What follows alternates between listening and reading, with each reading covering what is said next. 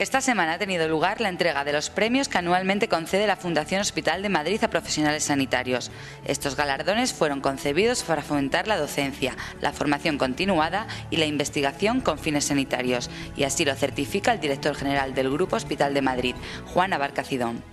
Un evento especialmente entrañable para nosotros porque constituye una prueba palpable de nuestra apuesta por la promoción de la formación de nuestros jóvenes profesionales.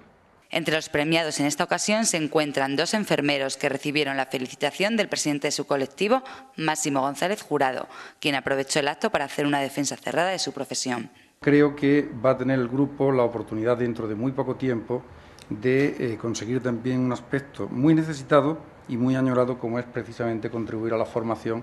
de enfermeras y enfermeros especialistas, cuando dentro de unos meses ya quede perfectamente regulada la formación de estos profesionales a través de las correspondientes normas que el Ministerio establecerá. Por tanto, esa eh, iniciativa extraordinaria que ha tenido el grupo de eh, ser acreditado desde el punto de vista de formación universitaria podrá no solamente en el grado universitario, como en este momento lo está haciendo en la profesión enfermera, sino también en el posgrado a través de las especialidades. Por su parte, el consejero de Sanidad madrileño, Juan José Güemes, dedicó su discurso a felicitar tanto a los premiados como a la propia Fundación. Y felicitar, desde luego, a la Fundación por esta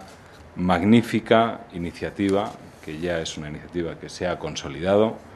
y cuyo objetivo es eh, promocionar la investigación y la docencia y la promoción de las personas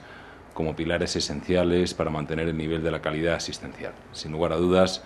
el gran arsenal de conocimiento científico y la capacidad técnica de los profesionales es el principal activo de la sanidad madrileña. El acto finalizó con la entrega de premios a los homenajeados y con la foto de familia de rigor.